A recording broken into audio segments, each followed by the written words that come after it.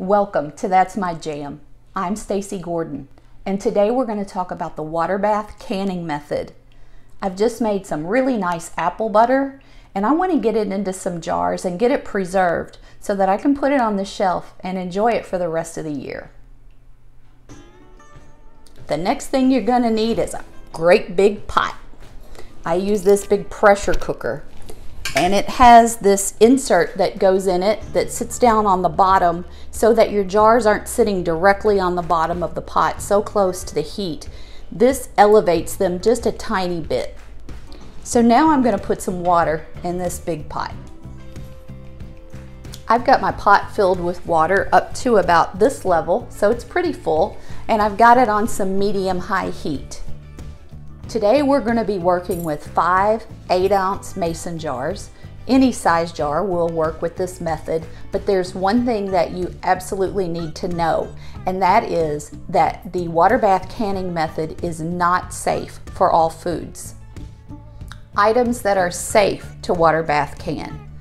Tomato-based salsa, fruit-based jams, jellies, preserves, butters, those have a high acid content and they are safe for water bath canning.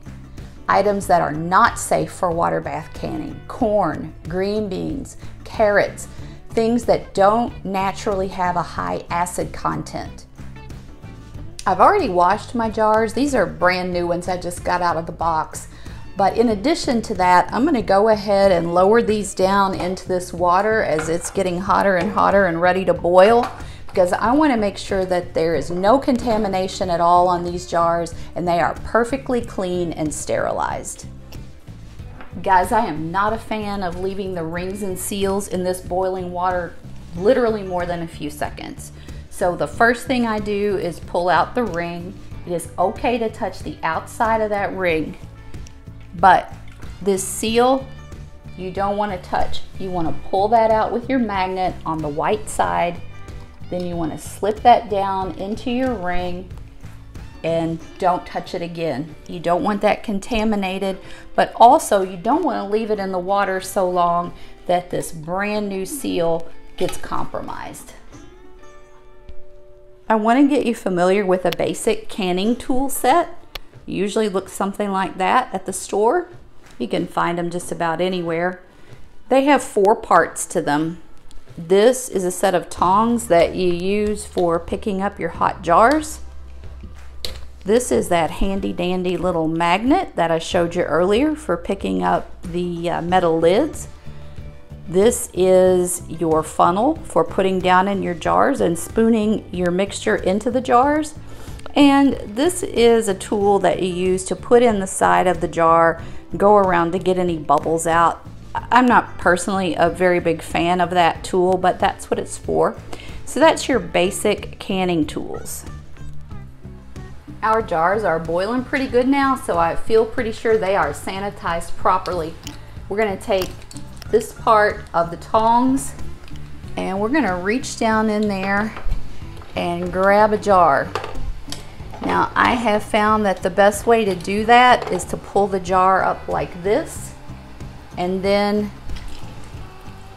dump that water in and then you want to move this jar over and set it upright just like that. You don't want to put it upside down. I know that's tempting, but that can contaminate it. Even if you think your towel is clean, that can contaminate your jar. So believe me, these are so hot right now that any remaining liquid that might still be in them will evaporate instantly. So what we're going to do now is fill these jars with our apple butter. Sometimes this step is a little bit messy, but we've got our funnel in there. We've got our soup ladle and we're going to just spoon this over into our sterilized jar.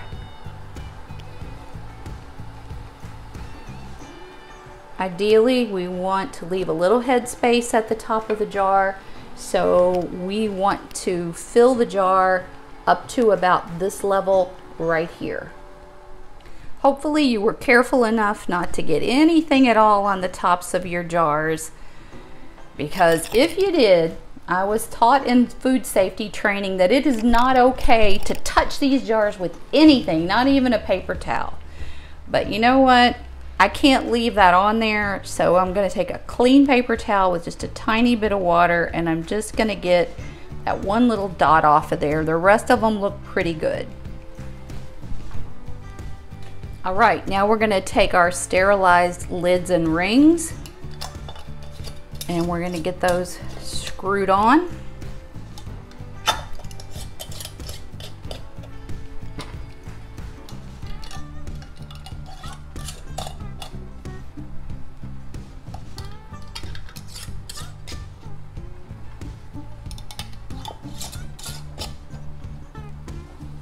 And I've got this handy dandy little grabber that my friend Ruth gave me.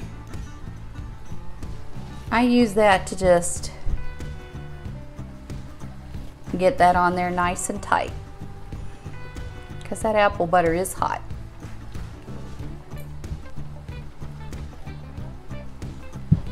All right, next step is to get these into our water bath. We're gonna pick these jars up just like that and we're gonna set them down in here on top of that plate.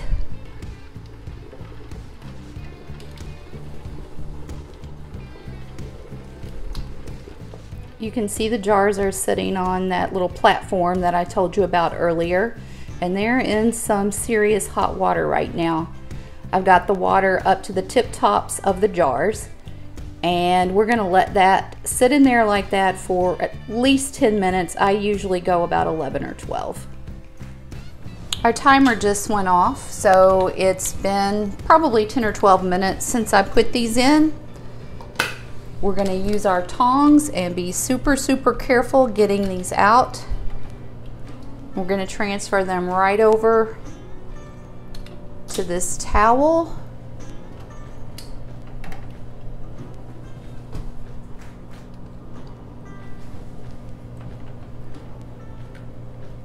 20, 30 minutes after you take those out of the water bath, you're gonna start to hear one of my very favorite sounds, and that is the lids popping.